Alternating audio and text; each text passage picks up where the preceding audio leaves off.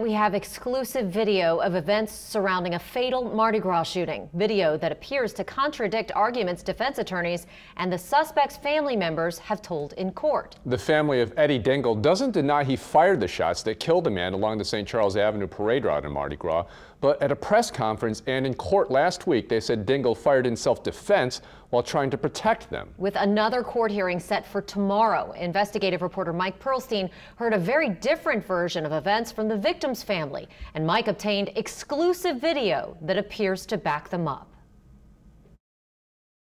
At a bail reduction hearing last week, a magistrate commissioner reduced bail for second degree murder suspect Eddie Dingle from 250 to $150,000 for the Mardi Gras killing of Maurice Williams. Attorney Lon Burns will be back in court tomorrow to argue for a further reduction, saying that Dingle shot in self defense while being attacked. That Mr. Eddie Dingle feared for his life Burns says this wound suffered by Dingle was caused by a pipe wrench after an argument late in the day between two families that, up until that point, were peacefully watching parades. Well, at that time, he was struck with the pipe wrench. But the dozen or so witnesses who spent Mardi Gras with Williams at their family tent say the pipe wrench is complete fiction. It's complete lies. They're lying to get him out. It's complete lies. They were punches. No pipe wrench was involved. Williams' family says this exclusive video shows how Dingle actually got his black eye from a punch thrown by a cousin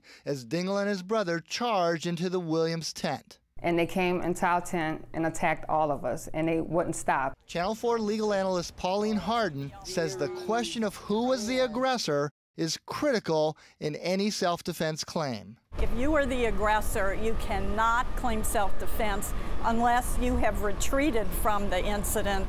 Burns also says an enraged Williams came after Dingle's family, ripping off his shirt, quote, like the Incredible Hulk. But this image of Williams moments after he was shot shows his shirt on his dying body. He was never the aggressor. This was not his fight. This was not something that was meant for him. The fatal shooting occurred here on the parade route on St. Charles Avenue. And while the courts will have to resolve the serious differences about what actually happened, everyone on all sides agrees that a verbal argument became a fistfight and tragically became a killing. Mike Perlstein, Eyewitness News. Two additional factors are expected to be raised at tomorrow's bail hearing. The first is Dingle's arrest for illegal possession of a gun on the campus of Grambling University exactly one month before the Mardi Gras shooting. The defense is expected to try and discredit a witness statement that Dingle fired two additional shots into the crowd after shooting Williams.